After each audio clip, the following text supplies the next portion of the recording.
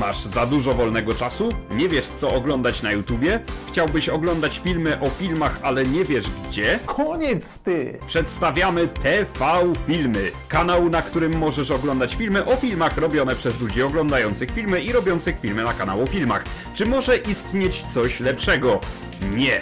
Dlatego teraz, całkowicie za darmo, dostaniesz gratis już teraz specjalną ofertę oglądania filmu o reklamach na kanale o filmach. Nie zwlekaj, oglądaj dalej, gdyż liczba minut w Twoim życiu jest ograniczona. Przed obejrzeniem skonsultuj się z partnerem lub partnerką, gdyż każdy film niewłaściwie oglądany zagraża Twojemu poglądowi na świat.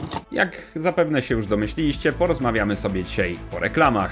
I to takich nie za tanich. Ta lista będzie trochę inna niż zwykle. Proszę nie traktujcie jej jako top 7 najdroższych reklam.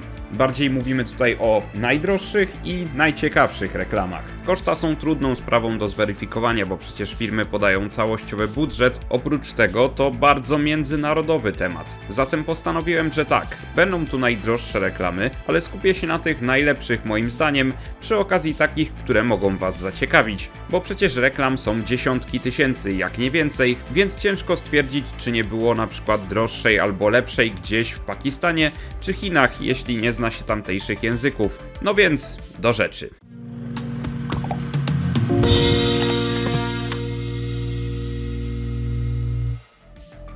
Zacznijmy sobie trochę od takiej tańszej reklamy, która nie do końca pasuje do tej listy, ale po prostu zainspirowała mnie do stworzenia tego odcinka. Jestem pewien, że ją znacie, bo była absolutnie wszędzie, jeśli chodzi o okolice roku 2005.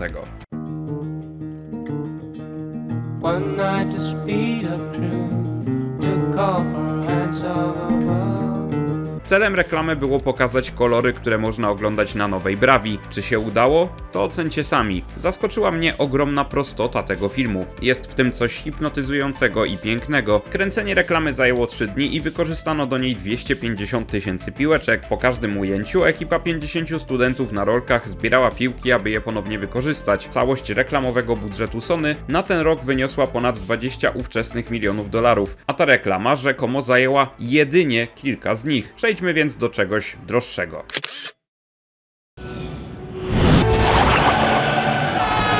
Mogliście nie słyszeć o tej marce, ale jest ona bardzo popularna w Australii. Carton Draft to piwo z kraju do góry nogami, ale prawdziwą sławę zyskało w tym za granicą za sprawą niesamowicie kreatywnych reklam. Moją ulubioną jest tak zwana wielka reklama.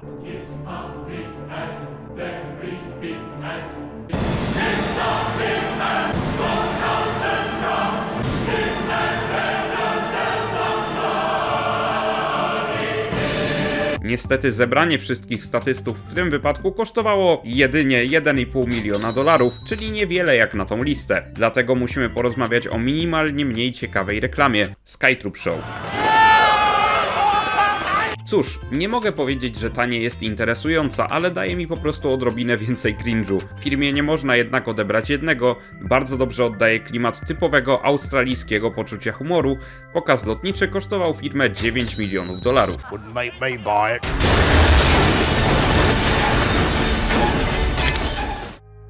Kolejny przykład jest bardzo ciekawy. Mamy tutaj czystą kreatywność, nie ma w ogóle CGI-a i wszystko zostało nagrane bez jakichkolwiek cięć. Reklama Hondy Accord z 2003 roku to bardzo ciekawy przykład bardziej spartańskiego podejścia do filmowania.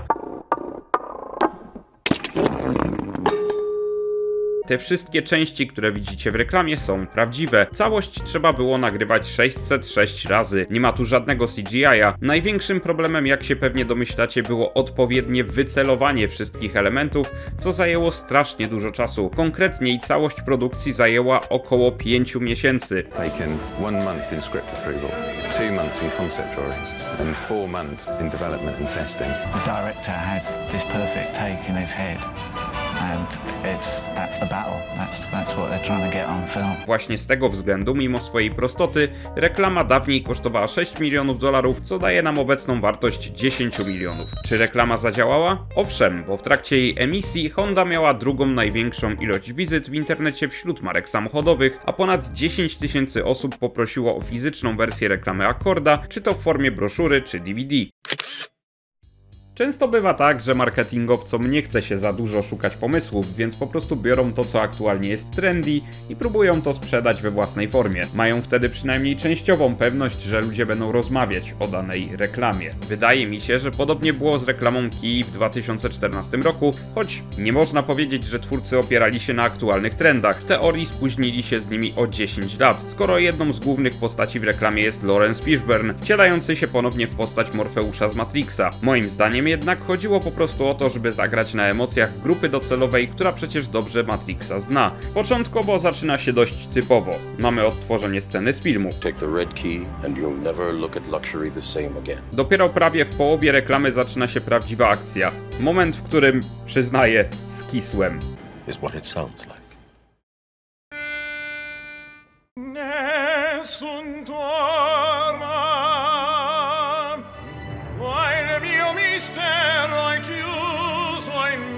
Reklama powstała przy budżecie 10 milionów dolarów i to już licząc dzisiejszą wartość pieniądza. Możecie się domyślać czemu. Popularni aktorzy nie są tani, szczególnie jeśli mają się jeszcze wygłupiać, ale w sumie Lawrence nie jest już aż tak trendującym aktorem, więc to mimo wszystko dość dużo. Coś innego musiało wywindować cenę. Sprawa staje się jasna po kilku kolejnych sekundach.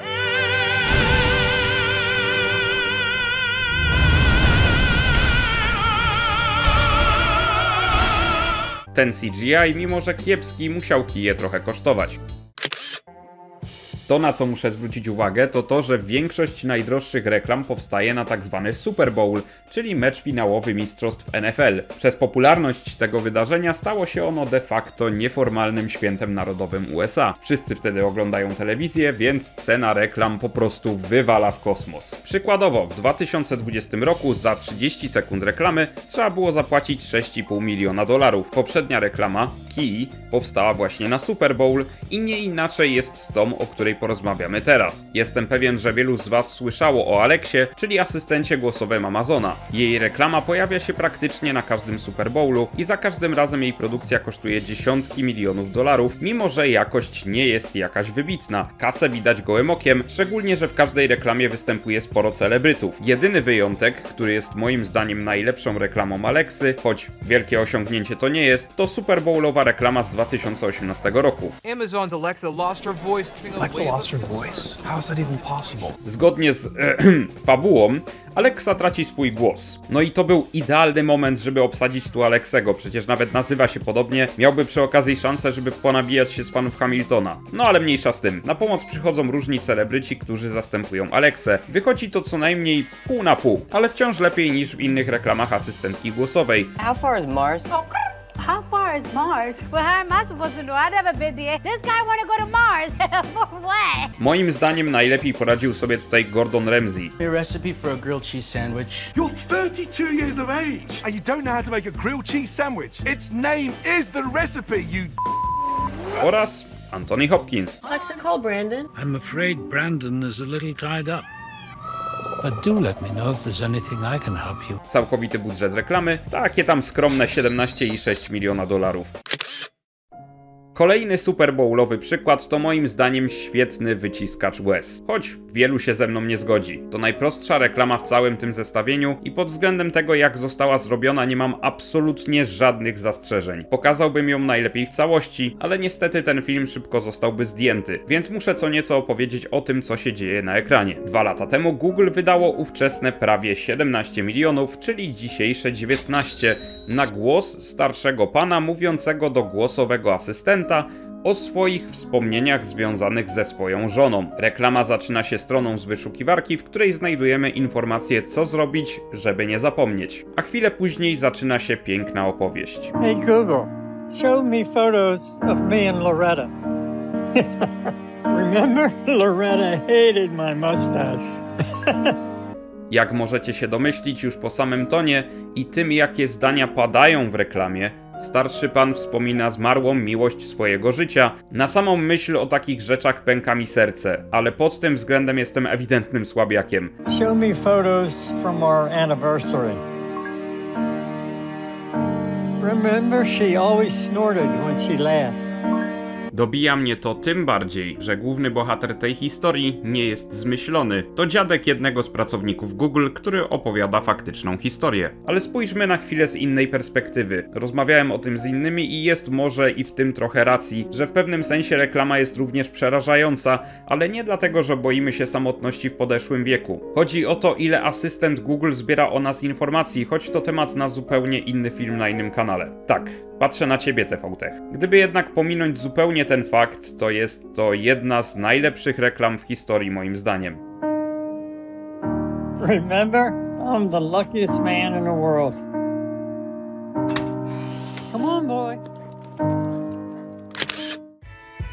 Czasami siedzicie w domu i myślicie, cholera, gdyby tak zrobić takie wielgachne domino przez całe miasto, to byłoby spoko. Takie zupełnie losowych rzeczy, po prostu jedna przewraca się od drugiej i to tak leci sobie przez jakiś czas. No i fajnie. Jakie fajne! Właśnie na to wpadł Guinness. Wydali na to jedynie 23 miliony dolarów. Świetna sprawa, gdybym miał tyle hajsu, zrobiłbym dokładnie to samo. Nawet nie po to, żeby coś rozreklamować, po prostu, bo mogę. Przygotowanie tego półtora minutowego cudeńka, jak pewnie się domyślacie, oprócz pieniędzy, wymagało również sporo przygotowań. Ekipa praktycznie wprowadziła się do meksykańskiego miasta, w którym mieszka zaledwie tysiąc osób. Jednak lokalsi przyjęli filmowców z dużym entuzjazmem, bo w końcu coś ciekawego się u nich działo. Ekipa sprowadziła ponad 100 statystów. Producent twierdzi, że do nagrania reklamy użyto 10 tysięcy książek, 10,000 books, 70 wardrobes, 50 fridges, 400 tires, 6 cars. I have a list like that. The implications of having so many books meant that the machines could barely cope. You cannot see the pine until you hit the render button. Co by nie mówić, mieli rozmach, więc myślę, że więcej dodawać nie trzeba.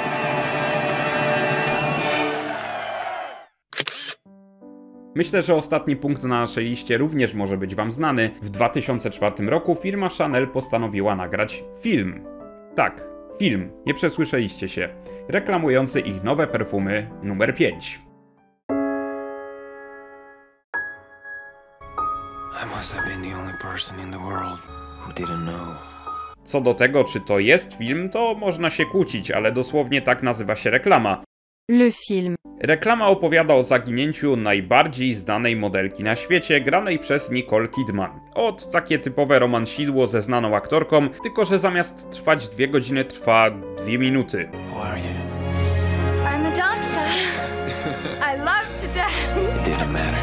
Mimo, że ta reklama zupełnie nie trafia w moje gusta, zresztą zupełnie nie należy do grupy docelowej Chanel No. 5, więc nic dziwnego, rozumiem dlaczego wiele ludzi się nią zachwyca. To poniekąd faktycznie jest film, który w 2004 roku faktycznie się wyróżniał w telewizji. I faktycznie jest tu fabuła, mimo że bardzo krótka. W skrócie, Nicole Kidman ucieka przez Times Square, poznaje w taksówce jedynego człowieka, który jej nie kojarzy. But my world never be the same again. It's beautiful up here. Everything seems so peaceful. a po czterech dniach została wezwana do powrócenia do celebrytowania. Reklama kończy się tym, że Nicole odchodzi do swojego świata po schodach, otoczona przez paparazzich, a jej amant czeka na nią daleko na dachu. Her kiss. Her smile. Krótkie, ale jednak nie można powiedzieć, że twórcy nie mieli pomysłu. Pewnie was jednak ciekawi, biorąc pod uwagę poprzednie przykłady, jaki był budżet na tą reklamę, skoro jest na pierwszym miejscu. Otóż, moi drodzy, 33 miliony dolarów w 2004 roku, czyli dzisiejsze 52 miliony, czyli ponad 10 reklam Hondy czy Kii. I co ciekawe, Nicole Kidman wzięła z tego jedynie 3 miliony. No ale dobra, można zrozumieć, że de facto zatrudnienie prawdziwej ekipy filmowej, a nie tylko po prostu studia reklamowego, mogło kosztować o wiele więcej. Plus oczywiście puszczanie reklamy w prime time. Co do ekipy, to reklamę wyreżyserował dość doświadczony Australijczyk Baz Luhrmann. Reżyser choćby Wielkiego Gatsby'ego, Romeo i Julii z Leonardo DiCaprio czy Moulin Rouge. Znany z teatralnego stylu i krzykliwej kolorystyki, co mocno widać w tej reklamie. Ogółem, jeśli ktoś siedzi w świecie perfum, to pewnie kojarzy, że numer 5 od Chanel miał już sporo reklam i to już od dawna. Zresztą perfumy weszły na rynek w roku 1921, a nowe wersje reklamy pojawiają się do dziś. Moim zdaniem nie osiągają poziomu wystąpienia Nicole Kidman, przynajmniej w większości, ale zawsze zwracały i zwracają na siebie uwagę ciekawym pomysłem i są po prostu bardzo dobrze wykonane. Reklam w budżecie 10-20 milionów jest więcej, ale wydaje mi się, że już wystarczająco dużo czasu poświęciliśmy na coś, co nie jest typową tematyką dla tego kanału. Chociaż mnie osobiście marketing cholernie interesuje, bardzo ciekawi mnie jak takie proste i krótkie filmiki wpływają na ludzi. Na koniec wspomnę, że jednymi z najdroższych reklam pod względem wydatków na samo ich puszczanie w telewizji są, tak mi się wydaje, bo nie do końca da się to potwierdzić, reklamy amerykańskich polityków. Przykładowo, George W. Bush wydawał tygodniowo 4 do 5 milionów dolarów, żeby ta reklama leciała w telewizji jak najczęściej. I've met with the parents and wives and husbands who have received a folded flag. And in those military families, I have seen the character of a great nation. I will never relent in defending America, whatever it takes. Szacuje się, że Donald Trump i Joe Biden wydali łącznie miliard dolarów tylko na emisję reklam telewizyjnych tylko w 13 stanach w roku 2020. Tylko, że te reklamy są tak boleśnie nudne, że rozmawialiśmy o nich już wystarczająco długo. Dlatego skończmy to tutaj i na koniec zadam wam pytanie. Jakie są wasze ulubione reklamy i czy wiecie ile kosztowały? Podzielcie się tym koniecznie w komentarzu. Ja tymczasem znikam. Do następnego razu.